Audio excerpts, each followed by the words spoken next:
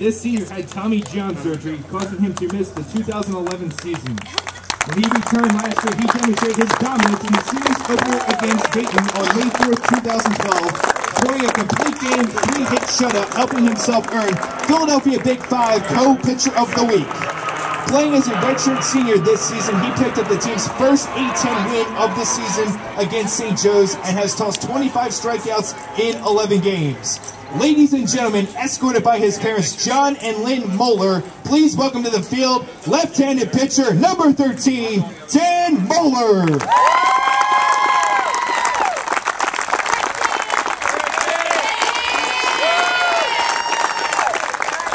College and took over the leadoff spot for the Owls, where he has 81 hits in 82 career games as a member of the Cherry and White. In his first season, he started 49 games and had 53 hits, while playing mostly in the outfield. This senior blasted one home run in each of his two years with the Owls, both coming against Big Five rival LaSalle. Coming into this season, he carried over a four-game on-base streak and extended it to 32 straight games before being held off the base path in the series opener against VCU. Before having his senior season come to an abrupt end at Rhode Island, there were only seven games in which he did not reach base in his entire career at Temple. Ladies and gentlemen, escorted by his parents Corrine and Joseph Keha and his nephew Jason, please welcome to the field shortstop number three, Jordan Keha. and worked his way to become the club's everyday left fielder. Last season, he played in 30 games, including 22 starts. His most productive game in a cherry and white uniform came at UMass last season, where he recorded three RBIs, including the game-tying and game-winning hits. As a senior, he has 41 hits and leads the team in the A-10 season with 338 batting average. Ladies and gentlemen, escorted by his parents, Richard and Lou Stiles, please welcome to the field left fielder number four, Ellen Stiles.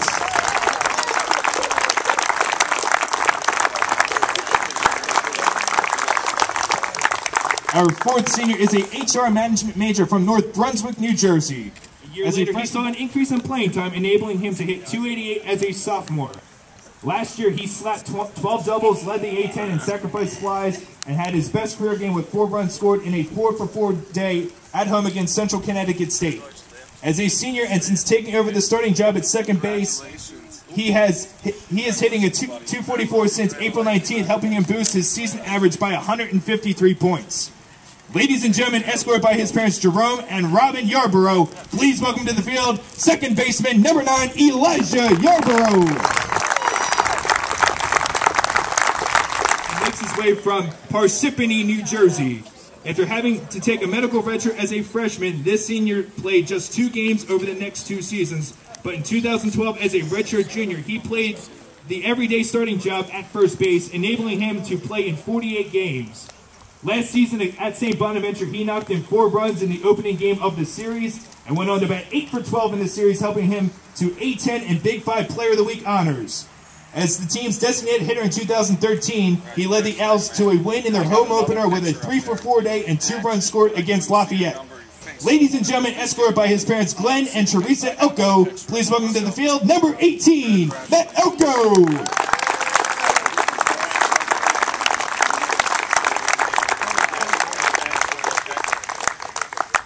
The next senior has made starts at every infield position, playing as the Owls' everyday third baseman. After making only 18 starts last season, this player has started 43 times in 2013, to which he owns a team best 349 batting average.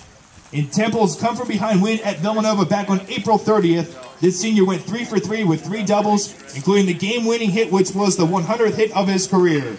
His consistency continued through that weekend as he finished the week hitting 571 and slugged 929 with a team high eight hits and four RBIs to earn Philadelphia Big Five Player of the Week honors.